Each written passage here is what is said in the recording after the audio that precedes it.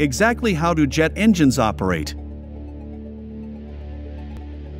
The majority of jet-powered aircraft are turbofan-powered. The turbofan can be visualized as a sophisticated propeller inside a diffuser, a duct that is powered by a gas generator.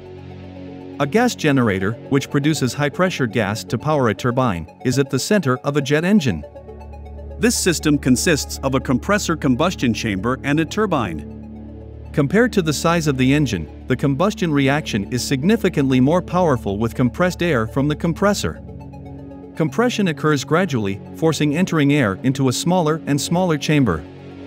A single compressor stage is made up of a rotor that spins and a ring of stator vanes that are motionless and fastened to the core casing. As the air is forced through the compressor, rotor blades swirl it. Stator vanes boost air pressure while decreasing this spinning momentum. Four low pressure stages and 10 high pressure stages make up the compressor. As it moves through the combustor, the combustor air is combined with fuel and ignited, generating a jet of extremely powerful gas. The inlet nozzles receive compressed air.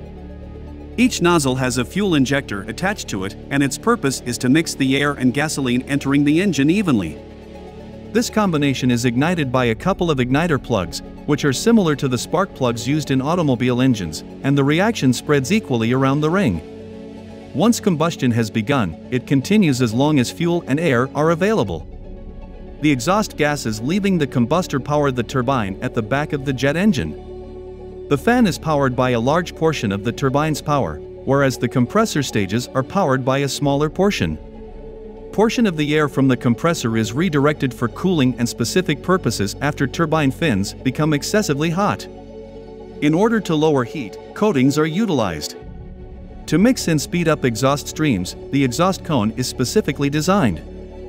It also includes delicate internal engine components. Jet engine noise is significantly influenced by exhaust velocity. For quieter operation, high bypass engines surround the rapidly moving core exhaust with significant amounts of the more slowly moving bypass air.